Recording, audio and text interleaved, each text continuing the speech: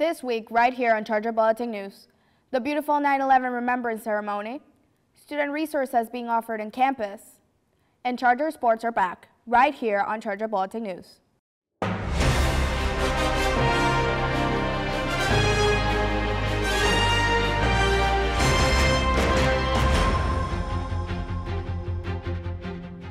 Welcome back to another episode of Charger Bulletin News. My name is Elisa Broche. And I'm Michael Crowley. Let's jump right into this week's stories. Having trouble balancing school and mental health? The ARC and the Dean of Students Office will be hosting the first of many Wellness Days events starting on September 16th and continuing throughout the week. The programs are designed to help students prioritize emotional, mental, and physical well-being exercises, discussions, and time management strategies will be promoted to foster proactive academic environments. Attending students will leave with a better understanding on how to handle whatever college life throws their way. Check out Charger Connection with the times and places for more information about all these events. Workshops include therapy talks, CAP services, and suicide prevention programs. Have questions?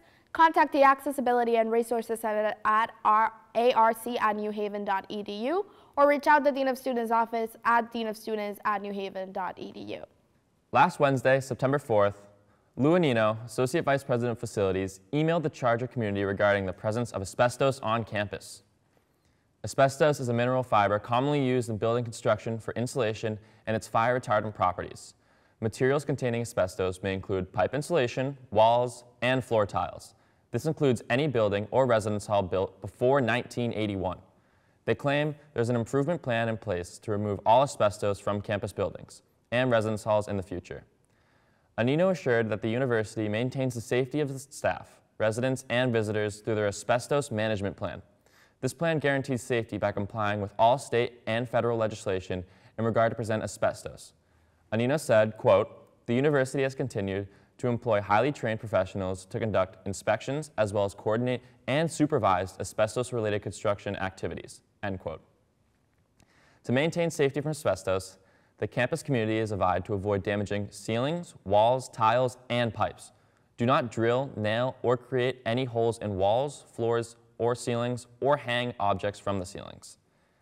If you suspect or notice any damage, please contact the 24-7 facility support number at 203-932-7087. For further questions on the existence of asbestos on campus, contact Lou Anino at lanino at newhaven.edu. Now we'll head to Will Whalen to find out what's going on in the world of Charger sports. Tell us all about it, Will. Thanks, Michael. I'm Will Whalen, and welcome back to the Charger Sports Report. Both men's and women's soccer had an eventful season kickoff. Men's soccer kicked their season off with a commanding 4-0 shutout over Holy Family last Thursday. The Chargers didn't stop there, picking up a 5-0 victory against Dominican University Sunday afternoon.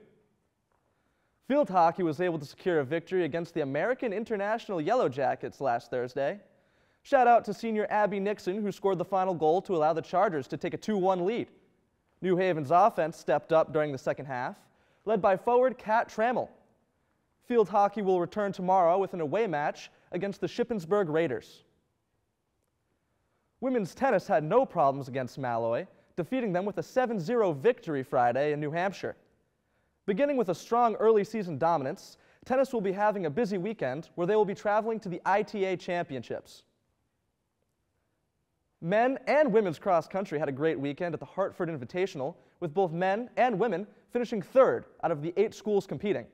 Leading the men, Mohamed Abunar finished fifth in the field, crossing with a final time of 1640. The women's team had just as an eventful of a meet. April McCurry led the way for the Lady Chargers and set the tone early, finishing third overall, crossing at 11.20. Cross country will return this weekend at the Wesleyan Cardinal Invitational on Saturday with a start time of 10.30 a.m. For more schedules and updates for Charger Athletics, make sure to go to newhavenchargers.com. Good luck to all student athletes who are beginning their competitive season. Go Chargers! That's all we have for Charger Sports this week. I'm Will Whalen, and now we'll head to Jade Edwards Figueroa with updates in the world of entertainment. What do you have for us, Jade? I'm Jade Edwards Figueroa, and welcome back to Entertainment. The 2024 Creative Arts Emmys delivered big wins across a variety of categories this year. Shogun emerged as a standout, claiming a record setting 14 awards. The Bear also made waves, with Jon Bernthal and Jamie Lee Curtis earning awards for Outstanding Guest Actor and Actress in a Comedy. All the while, Angela Bassett achieved her first ever Emmy win for Outstanding Narrator for her work in Queens. The ceremony also honored excellence in areas like production design, music composition, and special effects, ensuring to spotlight all the talents behind the scenes. With star-studded wins across the board this year, next year is sure to cause even more commotion. As we covered last week, the ghostly charm of Beetlejuice has made its triumphant return. The sequel conjured an impressive 10, $110 million in its opening weekend at the domestic box office. Directed by Tim Burton, the film reunites Michael Keaton as the beloved mischief-making ghost Beetlejuice and Winona Ryder playing Lydia, while introducing Jenna Ortega as a new character, Lydia's daughter. Internationally, the film raked in an additional $35.4 million, bringing its global total to $145.5 million. The film's blend of nostalgia, star power, and fresh storytelling has drawn rave reviews from fans and critics alike. As the second largest September debut on record, Beetlejuice Beetlejuice marks a major box office milestone, just behind 2017's It, the mixture of humor, horror, and unforgettable performances brought to the screen has revived interest in the Beetlejuice universe for a new generation of fans. With momentum building, this sequel is poised to dominate the nature of Halloween season as more viewers make their way to theaters. The internet has been left speechless after popular internet personality Nikocado Avocado revealed his drastic weight loss this weekend. Nikocado, whose real name is Nicholas Perry, is a traditionally mukbang YouTuber. Nick has been posting routine binging content regularly until his recent video, Two Steps Ahead. The video premiered on YouTube last Friday, garnering 26 million views over the weekend alone. Nick begins in a panda mask, covering his face while explaining he has pulled off one of the greatest social experiments on the internet to date. By uploading pre-recorded content over these last two years, he was able to spend his time losing weight while still receiving a steady income from his Nikocado character. His video is quite chilling, addressing his viewers in an ominous whisper, speaking down to those who fell for his trick. Let's take a look at how Nikocado spoke to his audience. Two steps ahead. I am always two steps ahead. This has been the greatest social experiment for my entire life. It's alluring, it's compelling, it's gripping to observe all these unwell, disoriented beings roam the internet in search of stories. So I am the villain because I've made myself one. Quite alarming. In traditional internet fashion, people have been speculating just how true this story is. Regardless of if you're interested in influencer drama, the question remains if this social experiment is truly one for the history books. That's all for this week. We'll see you next week with new updates in the world of entertainment. I'm Jade Edwards Figueroa. Now, let's head back to the desk with Elisa. Looking for more ways to advance your education, but not sure how to balance your mental health? Let's head to Hayden to find out what's being offered to students to make our transition back to school go a little smoother. Thanks, Elisa. I'm Hayden Leach. Let's talk about what's going on this week in student life. One Stop is now offering extended office hours and in some new locations. Mondays and Wednesdays, they will be open from 8.30 a.m. and closing at 6 p.m. If you're stuck on Orange campus, pop over to the main lobby anytime between 9 and 11 or 3 to 6 for extra assistance with your work.